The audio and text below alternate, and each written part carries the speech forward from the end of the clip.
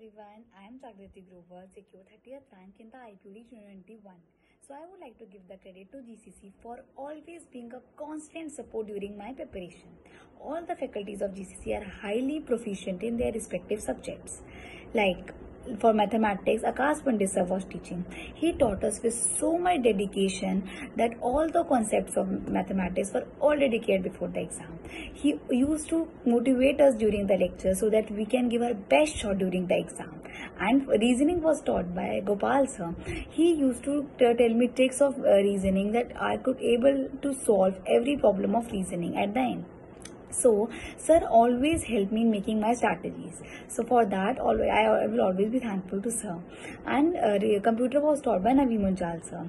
Naveen sir had a faith in me more than I do. And for that, I always admire him as a mentor.